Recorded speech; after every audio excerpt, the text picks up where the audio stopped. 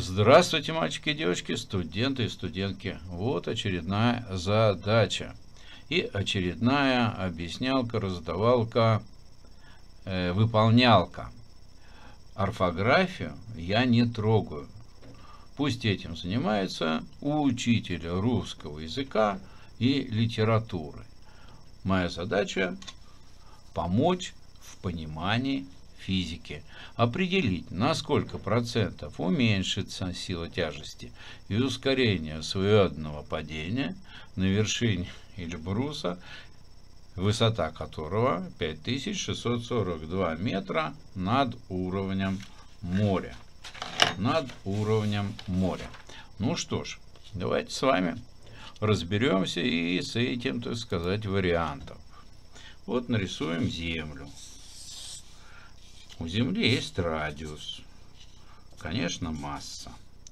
Эти две вещи, ну, на мой взгляд, необходимо знать все-таки, чему равен радиус Земли и масса Земли. Обычно массу Земли принимают как 6, на 10 в 24 степени килограмм, а радиус Земли 6400 километров.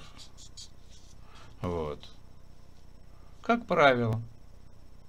Ну и я буду точно так же делать. Так, что мы знаем? Что вот это у нас Земля. Ну, находится тело, масса которого масса М. Масса М. М. М. Ну и что? Мы знаем, что на это тело действует сила тяжести. М. Ж на любое тело, вот мы даже рисовали, вот поверхность Земли, тело, на него действует сила тяжести МЖ. Вот тело на поверхности Земли, то есть от центра Земли на расстоянии 6400 километров это тело находится. Сила тяжести действует. Вот нарисовал сила тяжести. Сила тяжести всегда направлена к центру Земли. Вот она, сила тяжести. Хорошо. Но с другой стороны, мы же знаем, закон всемирного тяготения, эту силу можно рассчитать по формуле G масса тела, масса Земли и деленное на расстояние между ними. За расстоянием принимается расстояние от центра Земли до ее поверхности, то есть радиус. Значит, радиус в квадрате – и тогда мы видим, что неважно нам, какое тело находится на поверхности Земли, ускорение свободного падения будет вычисляться вот таким вот образом. Вот. А теперь мы начинаем от Земли удаляться. Поднимаемся, поднимаемся, поднимаемся. Вот, поднялись на какую-то высоту h. Что будет происходить? А мы от центра-то удаляемся, значит расстояние увеличивается, значит и ускорение свободного падения будет становиться меньше. Поэтому ускорение свободного падения на высотах ну, достаточно относительно больших от поверхности Земли, ускорение свободного падения будет подсчитываться следующим образом. R плюс вот эта вот самая высота – квадрате. Вот и все. Поэтому нам нужно просто-напросто сейчас взять и рассчитать, а чему будет равняться ускорение свободного падения на высоте h, которое было равно у нас 5642. Не километра, а метра. Вот так вот. Ну что, я это сделаю следующим образом. Вот напишу дробную черту. G это постоянная величина 6,67 на 10 в минус 11 степени. Масса Земли 6 на 10 в 24. А здесь смотрите, что сделаю. Километры должен в метры перевести. 6400 в одном километре 1000 метров – Значит, еще 3 нуля и плюс наша высота 5642 метра. И все это в квадрате. Ну, берем калькулятор, начинаем считать. Считаем, считаем, считаем, считаем. И получаем 9 целых 7, 5, 8, ну, метров на секунду в квадрате. Должны были получить вот этот вот результат. А на поверхности Земли сколько? 9,8. То есть, если на поверхности Земли у нас 9, ну, обычно берут 81, мы хотим же точно знать, то есть это у нас 100%. А 9, 7, 5, 8, сколько же это процентов получается? Ну, то есть, если мы хотим найти процент, насколько, так сказать, э, э, сколько процентов э, потерялось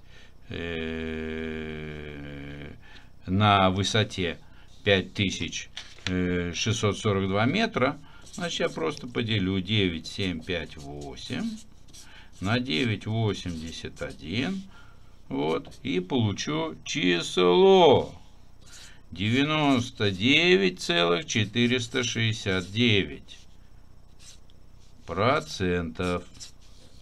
То есть на Земле у нас 100 процентов, а вот на этой самой высоте 99,4. То есть на сколько уменьшилось?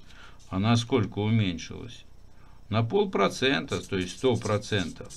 Если мы отнимем 99, 469 процентов, да?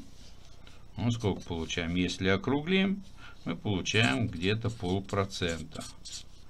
То есть не надо думать, что ускорение свободного падения – вот, оно уж совсем будет масипусеньким на высоте 5642 э, метра.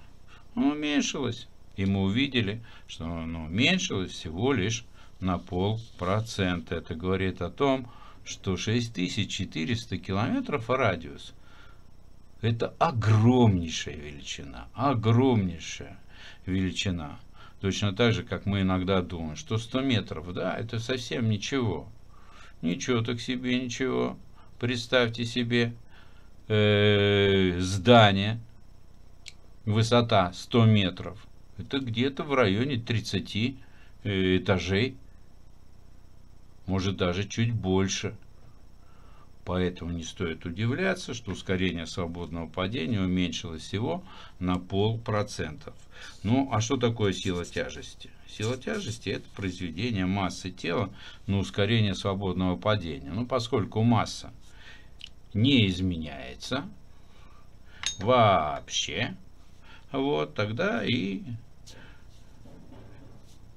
сила тяжести уменьшится тоже на пол процентов. Говорите, масса не изменяется. Ну, в принципе, конечно, изменяется. Если мы полезли, так сказать, вперед на высоту, на Эльбрус, да, и идем, идем, идем, естественно, мы тратим энергию, масса наша уменьшится.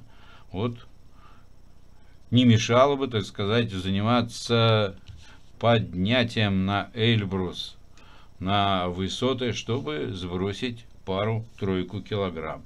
Ну, это так. Вот. А еще интересней. И лазить, и решать задачки по физике. Ну, хорошо. Вот такая вот ситуация. Напоминаю, что вы учите физику на канале Эли Гор. На канале, где собрано огромнейшее количество различного рода задач. Поэтому, если вы не записаны на мой канал, пожалуйста, запишитесь. И не забудьте поставить лайк. До новых встреч. Всего вам доброго.